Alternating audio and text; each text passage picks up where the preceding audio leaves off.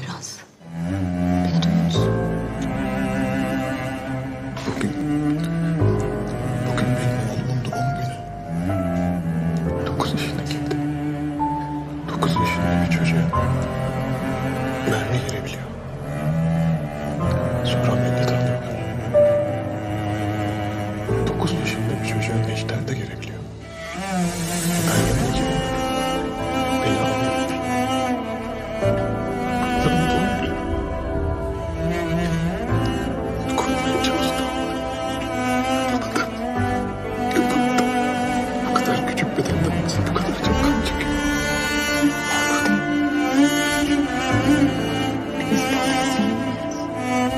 Ölüyorum Ayşegül.